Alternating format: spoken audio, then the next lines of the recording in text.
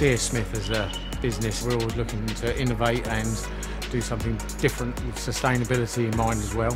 But there's four jobs that the AGVs do. Production is number one priority, then it's picking the orders for dispatch for the customers. The AGVs start picking the reels out into the loading bays.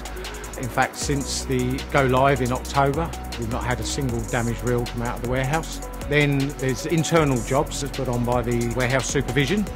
Then they start automatically going into a housekeeping mode and start rotating the stock.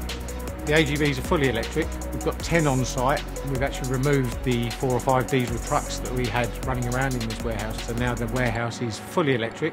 The uh, AGVs also changed and exchanged their own battery. Once the AGV reaches uh, 30% battery level, the AGV will finish the task it's doing and then automatically go to the battery exchange. They change the battery and then come back to work.